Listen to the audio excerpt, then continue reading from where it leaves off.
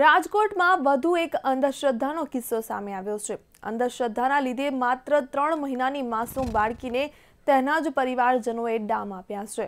સમાલેતા છે કે 21મી સદીમાં જ્યારે બાળકી બીમાર હોય તો ડોક્ટર જોડે જવાને બદલે અંધશ્રદ્ધાની શિકાર બને છે જ્યારે માત્ર 3 મહિનાની આ માસૂમ બાળકીની સાથે આ રીતે અંધશ્રદ્ધાને કારણે તેને ડામ આપ્યા તો પોલીસ તંત્ર હવે આ કિસ્સામાં શું કરશે તે તો જોવાનું રહ્યું હાલ તો બાળકીને સારવાર અર્થે રાજકોટ સિવિલ હોસ્પિટલ છે ત્યાં ખસેડવામાં આવી છે ઘટનાની જાણ થતાં પોલીસે વધુ તપાસ હાથ ધરી છે